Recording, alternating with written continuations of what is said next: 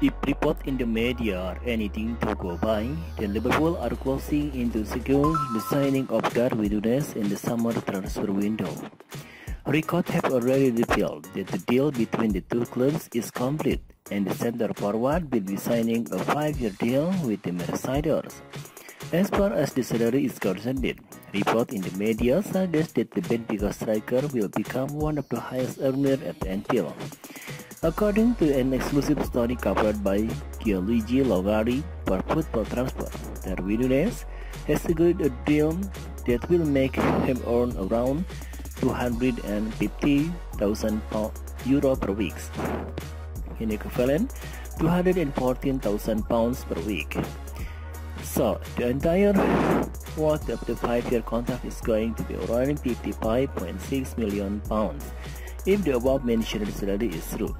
Then the 22 years old is set to become the second highest earner at Liverpool. He will only behind the Dutch international Virgil van Dijk, who take home 200, 220,000 pounds per week. The Reds have been trying to agree a new contract with the with Player of the Year, Mohamed Salah, for quite some time, but the Egyptian playmaker still earns 200,000 pounds per week it must be remembered that his current deal will expire next year.